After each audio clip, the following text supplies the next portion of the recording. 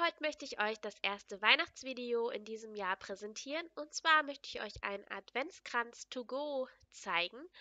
Und dafür benötigen wir ein paar Teelichter und ein bisschen Washi-Tape. Und das Washi-Tape sollte ungefähr so breit sein wie dieses silberne Schälchen, was sich an den Teelichtern befindet. Nun bekleben wir einfach einmal dieses silberne Schälchen. Ich weiß jetzt nicht so genau, wie man das eigentlich nennt. Ich nenne es jetzt einfach Schälchen.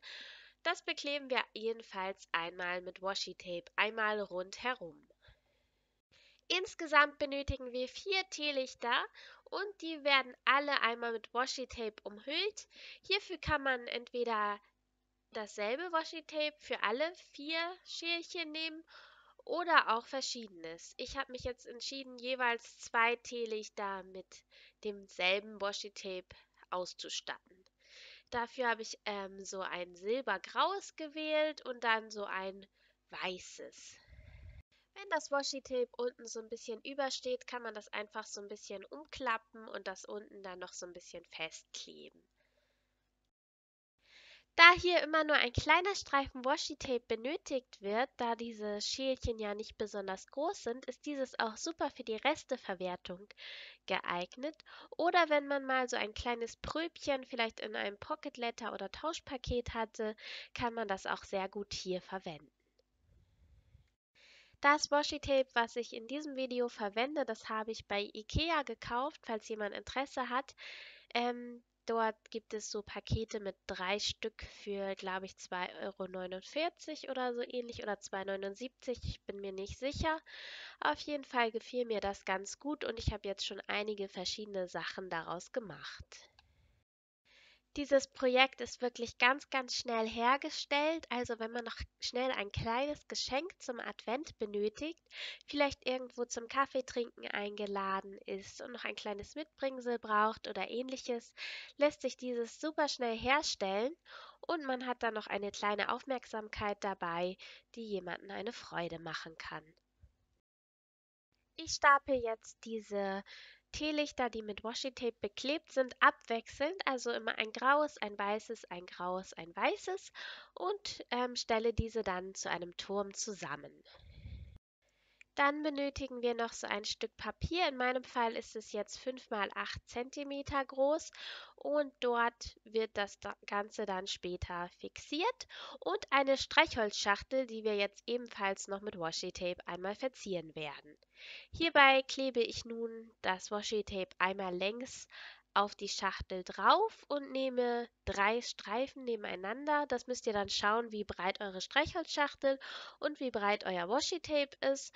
Man kann natürlich auch das äh, Washi-Tape diagonal oder ähm, quer raufkleben, wie man das gerade möchte. Ich habe mich jetzt für diese Längsvariante entschieden und ich klebe an den Rändern ein bisschen mehr also so, dass das ein bisschen übersteht hin und schneide das dann entsprechend ab, damit das dann alles gerade ist und schön aussieht. Dann wird alles gerade abgeschnitten, wie ich eben auch schon sagte, am Rand entlang an diesen schmalen Seiten und an den breiten Seiten wird es dann einfach umgeklappt. Hierbei solltet ihr darauf achten, dass nicht zu viel Washi-Tape übersteht, damit diese Fläche, an der man die Streichhölzer anzünden kann, auch noch frei ist. Hier habe ich jetzt ein Stück vergessen abzuschneiden, das hole ich jetzt nochmal nach. Und in meinem Fall verziere ich auch noch die Unterseite der Schachtel. Das müsst ihr jetzt nicht unbedingt machen, weil die nicht unbedingt sichtbar ist, aber ich finde, das ist einfach ein bisschen schöner, wenn das Geschenk dann ausgepackt wird, ähm, dass das dann auch verziert ist. Also das mache ich einfach ganz genauso wie auch auf der oberen Seite. Auch hier verwende ich dann ein bisschen mehr Washi-Tape und schneide dann die Ränder gerade ab und klappe das auch hier an der Streichfläche wieder um und achte darauf, dass auch hier nicht zu viel übersteht.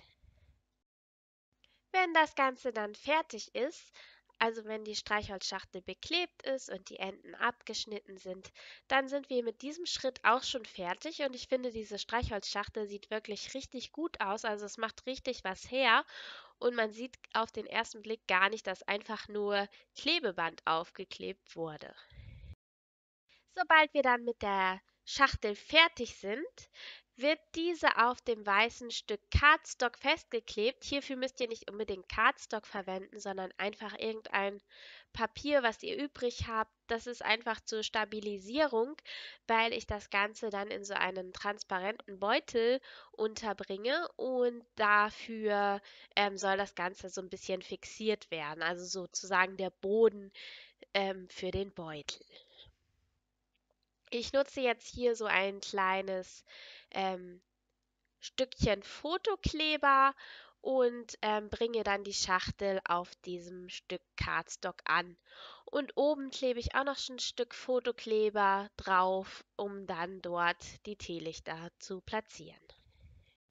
Damit die Teelichter ähm, zusammengehalten werden, sollen diese jedoch auch noch mit einem Band zusammengebunden werden. Dieses habe ich mir jetzt farblich passend zu dem Washi-Tape ausgewählt und schneide mir hier ein Stück zurecht und dieses befestige ich dann einfach mit einem Knoten einmal rundherum um diese Teelichter. Nun sieht das Ganze auch schon viel mehr nach einem Geschenk aus und ja, man muss ein bisschen aufpassen, dass einem das nicht alles umkippt, wie mir jetzt hier. Das passiert leicht mal, weil das alles eine kleine wackelige Angelegenheit ist. Aber dafür bringen wir ja nun das Band an und das kommt dann ja auch noch in so einen Beutel und dann sollte eigentlich nichts mehr schief gehen. Ja, ähm, ich habe mich für so einen Beutel, der einen Boden hat, entschieden und da wird dann dieser weiße Cardstock angebracht. Ähm, dieser Fotokleber, der hält nicht ganz so gut, um die Kerzen zu fixieren, aber wenn das Ganze in so einem Beutel untergebracht ist, ist das eigentlich auch nicht mehr so das große Problem. Ich probiere jetzt einmal aus, wie sich das Ganze in dem Beutel so macht und dann schauen wir einmal weiter. Anstelle eines Beutels könnt ihr natürlich auch so eine Geschenkfolie, die sich aus so einer Rolle befindet, nutzen. Dann müsst ihr euch das Stück entsprechend zurechtschneiden. Das ist natürlich auch gar kein Problem. Ich habe mich nur der Einfachheit halber für diesen Beutel entschieden und ich habe auch das Stück Cardstock genau abgemessen, dass es genau unten auf den Boden passt.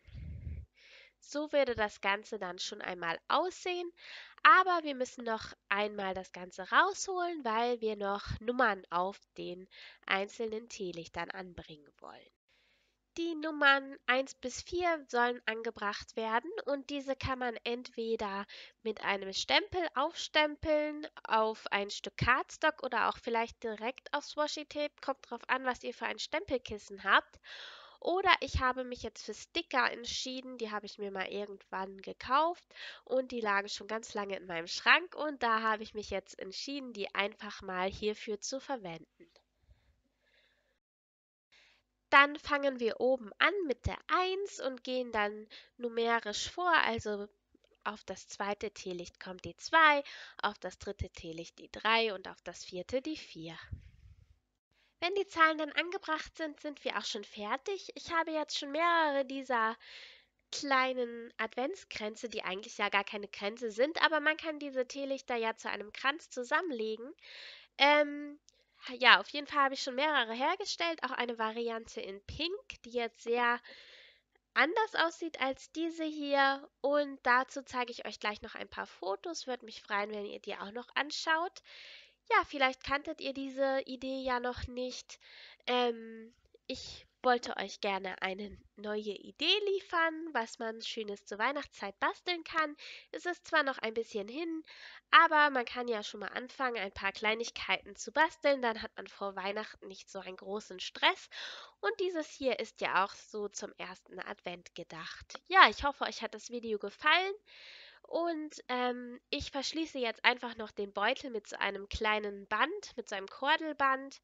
Und dann ist das Ganze auch schon fertig. Vielen Dank fürs Zusehen und schaut euch noch die Bilder an. Lasst mir ein Abo oder einen Daumen da oder auch einen Kommentar. Und wir sehen uns dann beim nächsten Video. Bis dahin, tschüss.